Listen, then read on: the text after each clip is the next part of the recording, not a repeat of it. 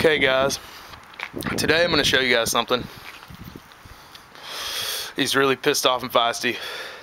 I caught him earlier this morning. I was down on Sloss Lake, which is located in Russellville, fishing, and I heard a rustling in the leaves. and uh, it's still cold in Alabama, but for some reason the snakes have already apparently started crawling. And uh, this is my favorite snake that you find wild in Alabama. And I'm not sure, there's a pizza box out here. I'm not sure 100% what kind of water snake that this is, but they have, they've got these, shit, let me get in better lighting. Got these weird markings. And I know it's a water snake. I think it's a banded. I'm not 100% sure. But um, I haven't fucked with water snakes in quite a while. I mostly, I mostly fuck with uh, pythons and stuff. See if I can get him to, well, he was trying to bite me and everything while ago.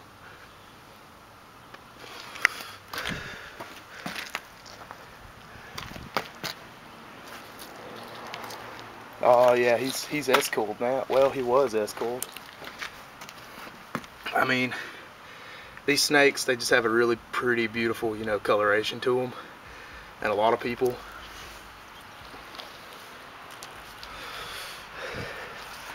a lot of people come up on these guys in the wild and they think when they find it just to give you guys an idea of how long he is let me lay him up against the wall.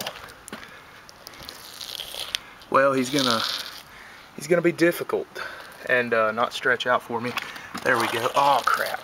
He's gonna come back and bite me is what he's gonna do the only way, I guess, if he won't lay for me, the only way to show you how long he is would be to kill him, and I'm not going to do that. Oh, come on, dude. Okay.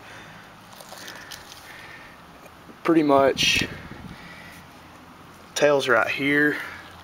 Damn it, quit being difficult, man. He's, he's easily about a four and a half, five foot long snake.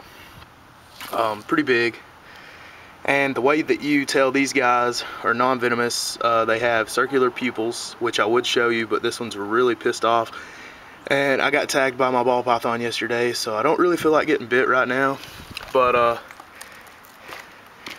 they have circular pupils and just the markings on the snake. Like if you're from Alabama or anywhere that's got banded water snakes or Brooks water snakes, anything like that. I'm gonna put him back in here